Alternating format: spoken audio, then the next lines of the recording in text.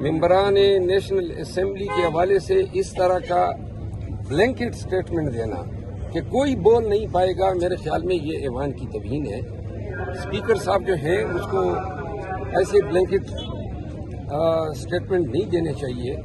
अचकजई साहब हो, वो इंटरस्टेट कब से हो गए? अभी तक तो ये अचकजई साहब इनका साथी था, पीडीएम का हिस्सा थे जब उनकी सियासी राय अलहदा हो गई है तो आपने उन पे का टप्पा लगा दिया।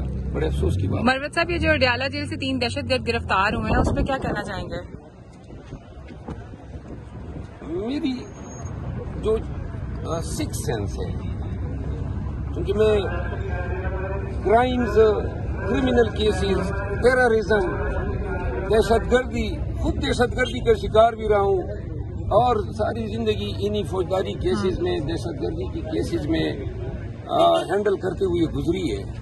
मेरी चिट्ठी ये कह रही है कि ये शोशा कसदन छोड़ा गया है ताकि मेंटली कौम को अलर्ट किया जा सके कि खान को खतरात हैं अफ़गानिस्तान से आए हुए लोगों से, ताकि अगर कोई दूसरी वारदात होती है तो इस वारदात को जो है जवाब बनाया जा सके।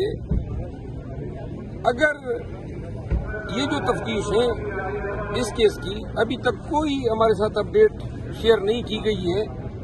अगर इनका ख्याल ये है कि अब ये बात की सहपारी न बन जाएगी और जब दूसरी वारदात होगी, खुदा नख्वास्ता ये मैं अपनी चिट्ठी की बात, बुनियाद पर यह बात कर रहा हूँ। तो उस वक्त इसका हवाला दिया जाएगा तो मैं ये बताना चाहता हूँ कि खान की ज़िंदगी और खान की सलामती पाकिस्तान की सलामती और सालिमियत के लिए बहुत ज़रूरी है।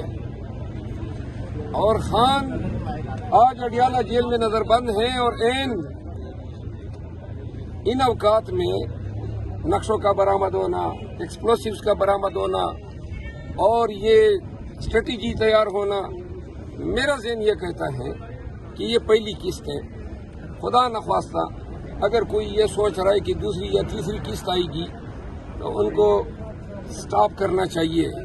खान की ज़िंदगी, खान का एक बाल भी बेका होता है तो लोग नौ मई को भूल जाएँगे। लोग याद रखें, खान इस कौम का मुस्तकबिल है, और हम खान की लाइफ को कोई भी अगर थ्रेट होता है तो हम टूथ एंड नेल इसको फाइट करें